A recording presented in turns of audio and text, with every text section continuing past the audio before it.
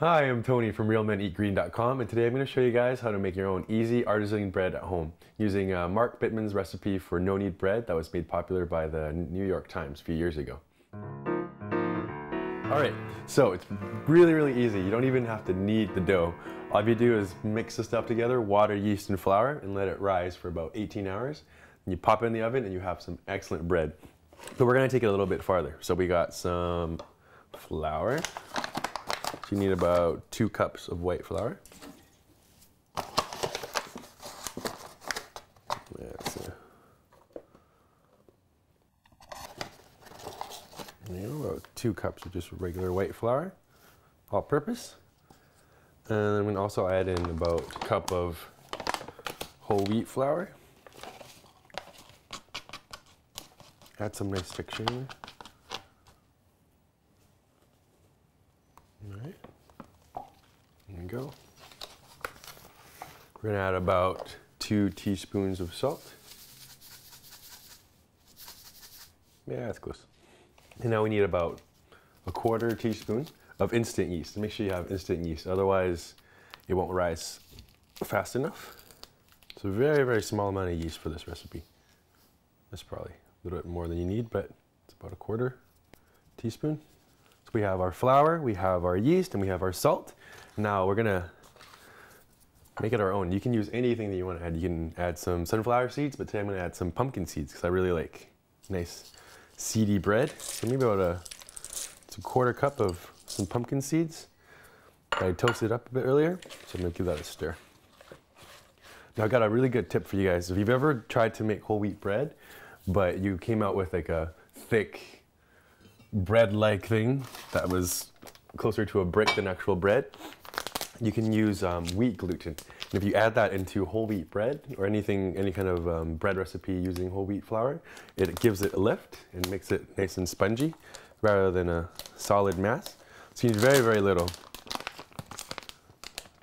I think, say probably about a, a teaspoon of wheat gluten. So we'll give that a stir.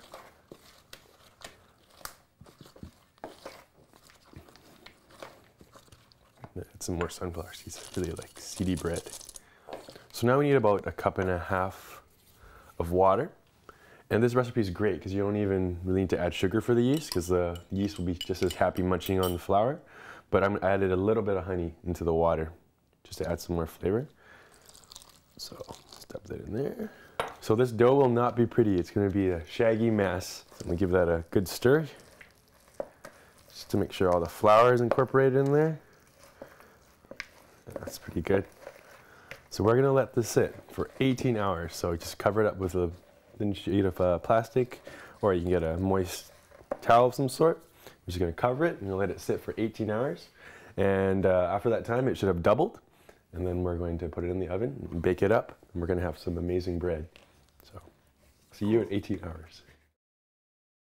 All right, so it's been about 18 hours. Actually, a few more than 18. It's about, been about 24 hours, and this is what our dough looks like. It's still kind of shaggy, but it's doubled in size since we first mixed it together. It starts to develop a slight sourdough taste, which is also really nice.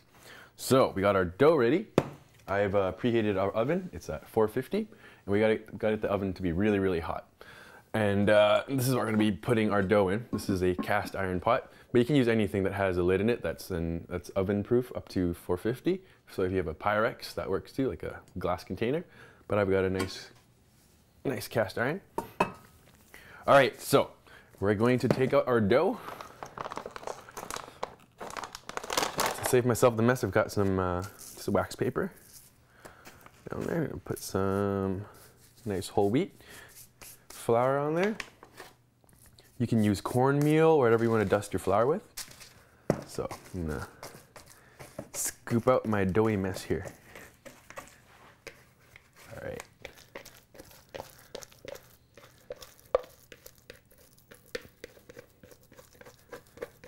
All right, there we go.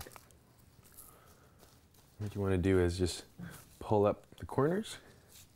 Remember, this is a no knead recipe, so there's no kneading involved. Just you want to pull up of the corners there. Kind of form a ball-like shape. There you go. So I flipped it over, so the seam's at the bottom. We're just gonna let it sit for about 15, 20 minutes. Let it set a little bit more. And uh, in the meantime, we're gonna get our baking container here. We're gonna heat it up in the oven.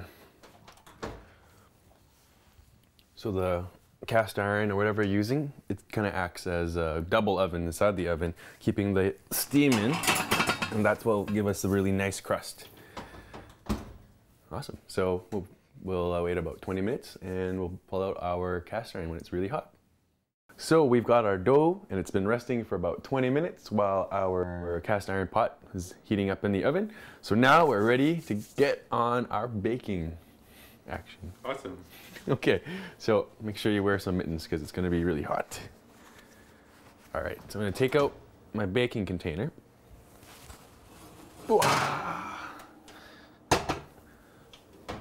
Open her up. Again, make sure you're really careful because it's very, very hot. And I've got my dough here. It's in a roundish shape, but don't worry about it because it's still really goopy. But remember how we put it on a wax sheet? It'll be easy to flip it in. All right. And there we go. So if it doesn't fall in perfectly, don't worry about it. So just grab it, give her a shake. There you go. We're gonna close the lid. We're gonna bake it for half an hour. It's really, really important. Make sure you don't open the oven or open the lid to peek. If you do that, it might ruin the nice crust that we want on our nice bread. So we're gonna bake it for about half an hour. Remember, no peeking, and we'll have some nice, awesome smells coming from the oven. So your house will smell of bready goodness, but half an hour. Our bread has been in the oven for about half an hour. We're gonna take it out, take off the lid, and we're gonna let it brown so that the crust is gonna be nice and crunchy.